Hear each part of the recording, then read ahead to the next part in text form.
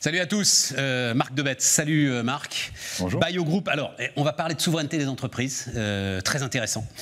Concept que tu développes, que développe BioGroup. Quelques mots quand même pour, sur BioGroup, c'est-à-dire ce que tu fais en aujourd'hui. deux mots, no- notre métier, c'est le conseil. Donc, on aide des grandes entreprises internationales à développer leurs relations B2B. C'est la notion d'écosystème B2B. Voilà, c'est ça. Tout seul, on n'est rien. C'est- Ouais. J'avais eu la chance de rencontrer Bill Gates. Il disait euh, tout Microsoft que nous sommes, Microsoft seul, Microsoft n'est rien. Et c'est la notion. Donc, c'est aider. Il disait ça, Bill Gates. Eh ouais, mine de rien. C'est pas mal de caser comme ça. Oui, d'ailleurs, Bill Gates Oh, le voilà. disait récemment. Mais euh, c'est vrai.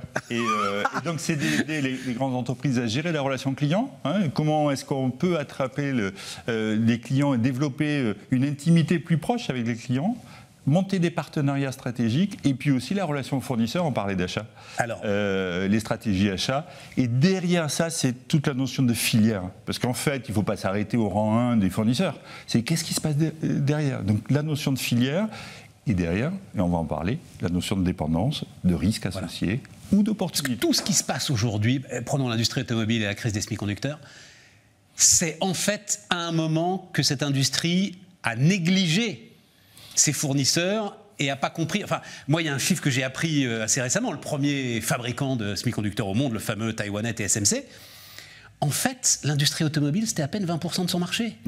Par contre, il fournissait 60% des puces de l'industrie automobile. Il y avait là un déséquilibre total que l'industrie automobile n'a absolument pas perçu. Et à un moment, TSMC a dit Désolé, les gars, vous n'êtes pas prioritaires.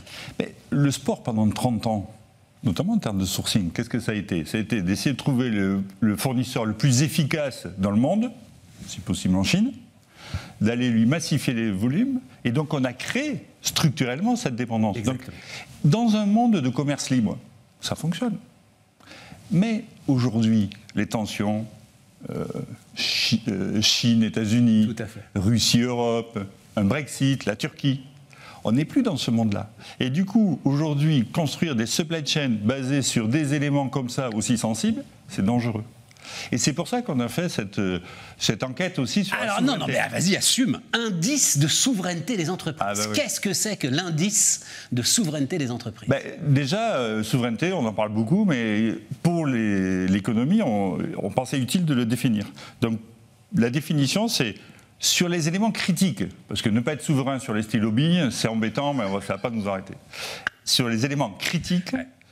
quelle est la dépendance vis-à-vis de l'étranger? Et dans l'étranger, c'est hors de France, mais il y a l'Europe, c'est c'est pas si mal. Et puis, en dehors de l'Europe. Et du coup, c'est euh, vraiment le produit de criticité, élément critique, super dépendant de l'étranger et l'étranger distant. C'est ça la notion de souveraineté. Et là-dessus, tu Alors, attends, parce que élément critique, ok, tu parles des stylos billes.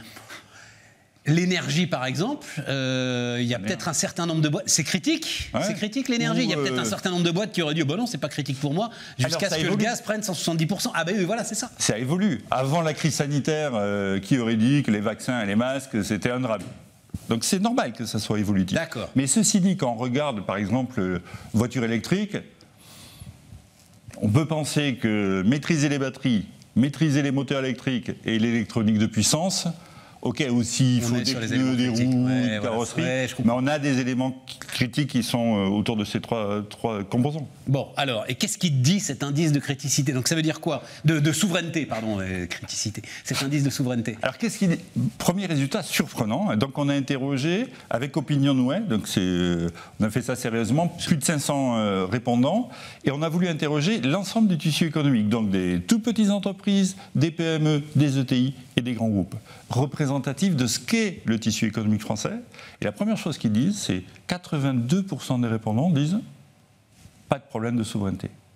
Pas de problème de souveraineté. Donc on maîtrise l'ensemble de la chaîne de fabrication de nos éléments critiques. On n'a pas le sentiment, nous dirigeants d'entreprise, c'est ce qu'ils disent, qu'on est en dépendance si forte sur nos éléments critiques. Et d'ailleurs, c'est corroboré par un autre chiffre, 91% des répondants disent nous n'avons pas de plan de relocalisation, on parle beaucoup de relocalisation, ni en, route, ni euh, que nous avons prévu de mettre en œuvre très prochainement. Ça pourrait être circulé, il n'y a rien à voir.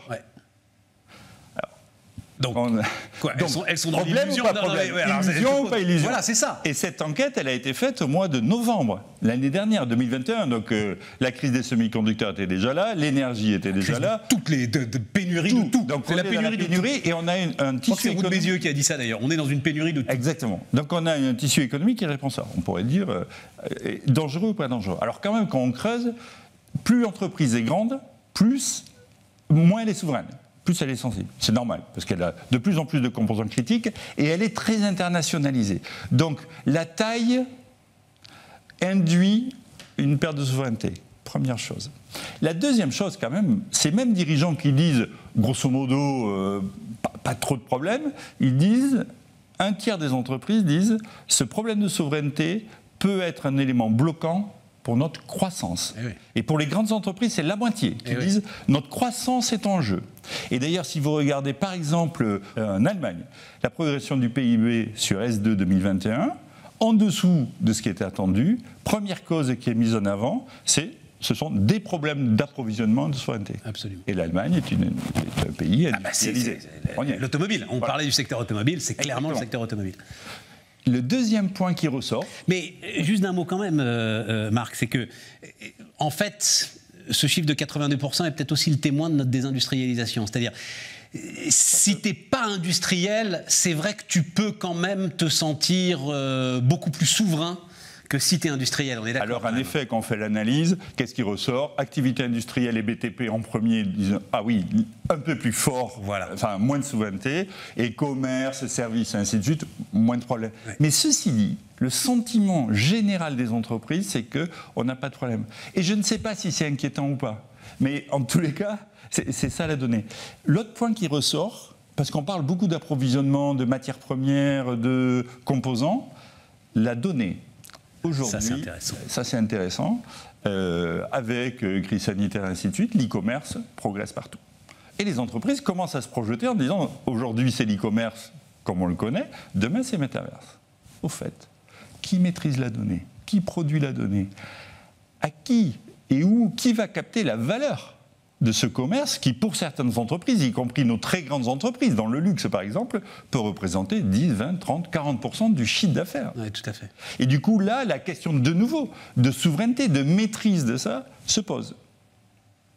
Donc on est dans, ce, dans, ce- dans cet univers-là. Et alors, mais qu'est-ce qu'on en fait alors de cet indice une fois qu'on a cette, euh, Ouais, une fois voilà. qu'on a ton diagnostic Une fois qu'on a Parce que c'est ça l'idée, toi, que tu développes, c'est euh, tu vas offrir une forme de diagnostic aux entreprises et après euh, bah, apporter, essayer de réfléchir avec elles à des solutions. C'est ça. Ouais. Euh, primo, la notion de souveraineté, c'est une illusion. Je crois qu'on est tous inter- interdépendants.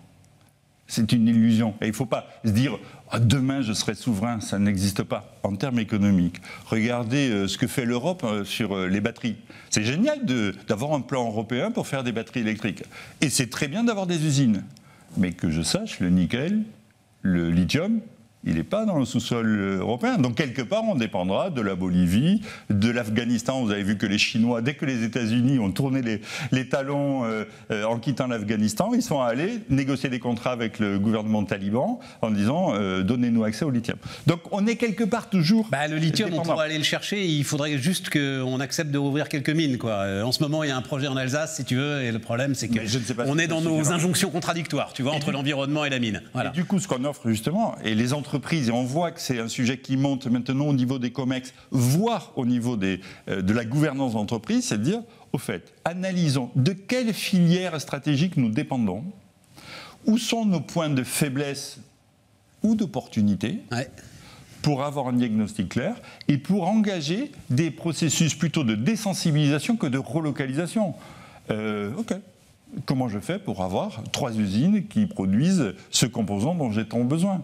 Comment je fais pour le produire dans trois zones géographiques plutôt qu'une seule? J'y perdrai peut-être un pouillème de marge, mais si j'y gagne ma capacité de croissance dans les années à venir, je crois que ça vaut, le- ça vaut le coup. Donc, BioGroup, euh, on, on trouve ça sur euh, un site internet qui est bien fait euh, Ouais, normalement, ouais, hein, ouais, voilà. non, non, je veux dire, c'est libre d'accès. Si on veut Oui, aller voir cet, euh, cet indice, euh, cet indice de souveraineté, on va voir ça. Allez voir ça. Très intéressant. BioGroup, donc, Marc Debetz.